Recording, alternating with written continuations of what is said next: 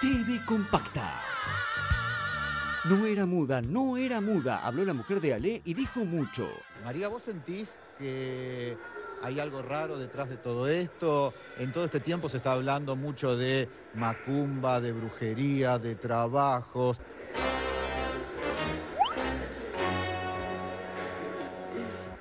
¿Qué sabés? No tenés la alianza puesta. Yo solamente tengo para decir que no es ni yo ni mi familia. Este lado no es. Y yo tengo que leer lo que estás diciendo. Vos sentís que te maldijeron. Sí. Entiendo que él pueda estar pelado con la madre, que pueda haber un tema de, de plata, de celo, de lo que vos quieras. Pero hay otro plano que, que lo lleva a Matías a estar internado, donde ve cosas. Digo, ¿son dos cosas distintas o vos unís las dos cosas como él cree que el mal es su mamá?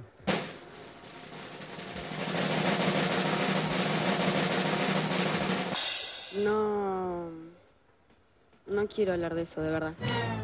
¿Vos coincidís con Matías en lo de las presencias? ¿O era un tema de Matías y vos lo acompañabas?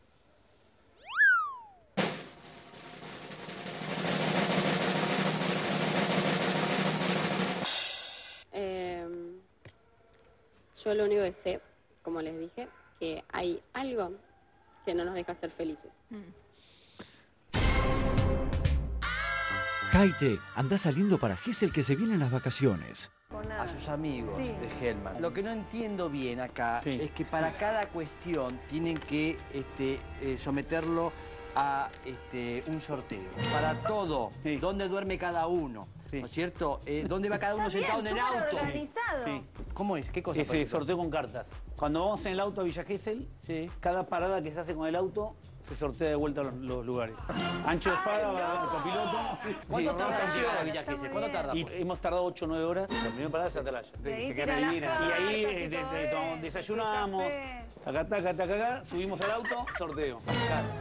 Sí. Y el la segunda parada lo que pasa es que ahora cambió porque ahora vamos por Dolores, pero antes íbamos Claro. hasta a las armas. Ah, Sí, en las armas teníamos que saludar siempre a, uno- a una persona que estaba en el baño de, del- de la estación de las armas que tenía era espectacular, tenía todo organizado, papel higiénico, tenía eh, música, profesional del música, baño. tenía música. Vamos algo, saludábamos al tipo. ¿Sorteaban otra vez? Claro, obviamente, claro. otra vez sorteo. Sí, sí, sí. Eh, Así que son tres o cuatro paradas hasta llegar a- a- al camping. ¿Es o no es? Carmen pegó novio y al toque pintó la separación. Habla el novio de Salió el novio Carmen. urgente. Empezaron a decirle que se parece al gigoló. Sí, el hombre le han dicho gigoló. No, porque le han, no, porque le han dicho que era gigoló. gigoló. Este hombre no soportó que le dijeran gigoló. ¿Cómo te va? Buen ¡Hola, Dani! Estoy en Comodoro Rivadavia trabajando el gigolo. El gigoló.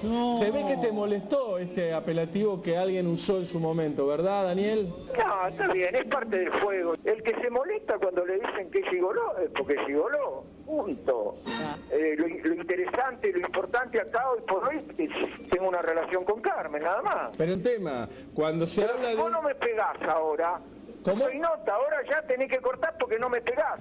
Si no me pegás, no soy nota. No, no, no, no, pará. Te contesto Daniel, Daniel, primero no voy a... está, pri- me Primero... está bajando el rating No. Daniel. No soy el pichi que lleva el bolso de, de, de- de Carmen Barbieri, ni lo voy a hacer de nadie. Yo no soy el, el Matías Salé de Graciela Alfano que llevaba a la chiquita durante nueve años, hermano. Daniel. Ahora, Te lo digo con todo no, respeto pero y toda humildad. Yo, y yo Pero te, estás caliente. Pero te estoy, yo te estoy... ¿Entendés? Sí. No podés hablar de un gigolo. Un tipo que tiene una coupé Mercedes-Benz en la puerta de 80 mil dólares. No es un gigolo. Pero este, seguro, pero, Monty, pero, no es un pero, boludo. pará, yo te aclaro una... ¿Hubo coincidencia en la tercera edad? La señora le echó el ojo a Hamilton. Lo que yo cuento ahí, igual compren el libro y lean el No, no, libro. no, lean, no, pero- no, señores, apasionante. ¿eh? Muchas gracias Sí, por la está dedicatoria. ¿eh? está- Muchas gracias. está bueno el Ahí libro. está. Ah, sí, ahora lo conozco, ahora que lo veo. Lo he visto en, eh, En el programa. En el programa. Sí, y... Hamilton. Ah, Es una mujer dura de domar. Se hace más grande, sí, un poco más fácil, te digo.